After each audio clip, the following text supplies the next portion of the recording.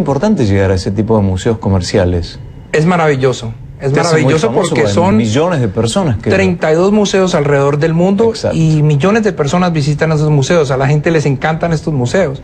Y lo que yo hice fue hacer una forma, eh, hacer un arte de cierta forma entretenido, que le llegara a todas las edades, a todo tipo de personajes y la gente le encanta. La gente va a los museos y ve mis obras y disfrutan. Lo huelen, lo tocan, lo prueban.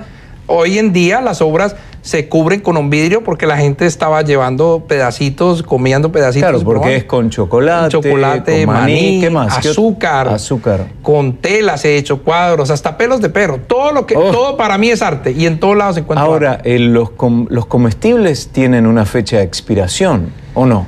Bueno, mi casa de cierta forma es un laboratorio. Además que tengo una experiencia, como te contaba al principio, en la cocina. Entonces sé que, por ejemplo, el chocolate hay que tratar de conservarlo porque con el tiempo el chocolate coge un color blanco.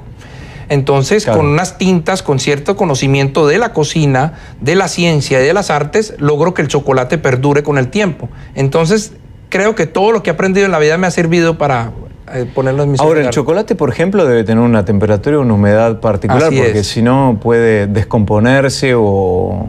¿Y qué pasa con el olor? Porque, bueno, por supuesto son comestibles, pero si están en exposición, ¿duran toda la vida o no? Muchas de las obras pueden durar bastante tiempo y yo las cubro muy bien con resina y cada obra tiene una, aplicación diferente o una forma diferente de conservar porque cada químico reacciona diferente con cada elemento de, de- de la cocina.